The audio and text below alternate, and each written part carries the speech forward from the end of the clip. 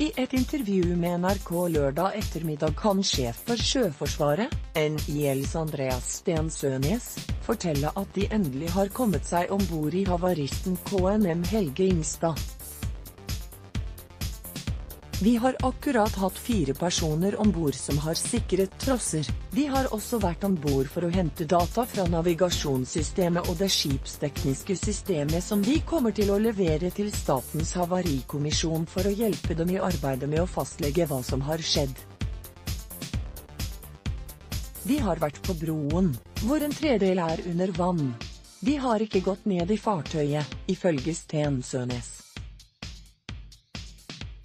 De fire personene var fra Sjøforsvaret og gikk tilbake på land rundt klokken 18. De var om bord i noen få minutter og skal ha gjort filmopptak. Opptakene kan foreløpig ikke frigis. Det er usikkert om noen skal om bord også søndag.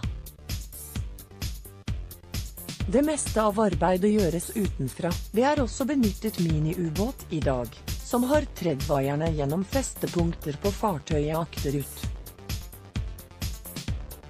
Redd for å skade fartøyet de planlegger nå en bergingsaksjon som er støttet av norske Veritas, sammen med bergingsselskapet som skal gjøre selve operasjonen. Det kommer hele tiden materiell som skal brukes i redningen. Vi er usikre på når vi kan frakte fartøyet tilbake.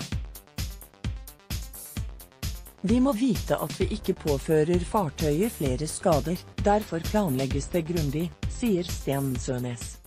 Han er ikke sikker på at de vil klare å gjennomføre redningsaksjonen. I en slik situasjon er ingenting sikkert. Men jeg er optimist og har god tro på at vi får det til. Seks av ti vaiere er festet det arbeides dag og natt med å sikre fregatten KNM Helge Ingstad etter kollisjonen med tankskipet Sola Ts natt til torsdag. Lørdag er seks av ti vaiere feste, og den syvende skal være på vei. Når man har seks fester, anser man fartøyet som relativt sikkert, forteller kommunikasjonssjef i Sjøforsvaret Toril Hærland lørdag formiddag. Neste fase vil være å stramme vaierne. Det er en viss usikkerhet rundt hva som vil skje når man strammer vaierne. Det må jobbes sakte, men sikkert for å ikke gjøre mer skade, eller senke fartøyet. Hærland sier at Forsvaret har for lite kunnskap om hva som er på innsiden av fregatten. De vet ikke hvor mye vann det er om bord og hvor vannet er. Først når vi kan sette folk om bord vil vi vite mer om hvordan fartøyet kan berges. Les også, da vi mottok Mayday-signalet snudde vi med en gang.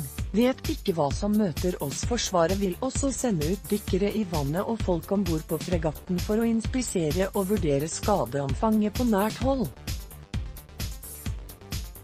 Dette vil være grunnlaget for neste fase igjen, som da vil være selve bergingen av fregatten, sier Hærland. Mulighetene for å tette hullet i skroget og løfte fregatten over på en lekter vurderes. Om dette lar seg gjøre, er en mulig plan å frakte fregatten med en lekter til Haakonsvern.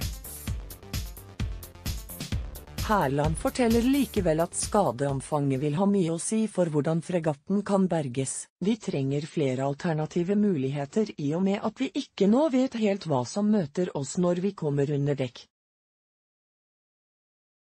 Forsvaret overtok ansvaret for ulykkesstedet fra politiet på fredag. Nå koordinerer fartøyet Olav Tryggvason, som er en kommandoplattform, operasjonen.